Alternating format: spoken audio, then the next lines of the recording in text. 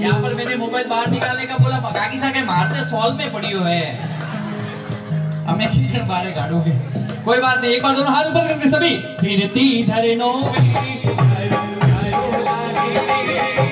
फिरती धरनो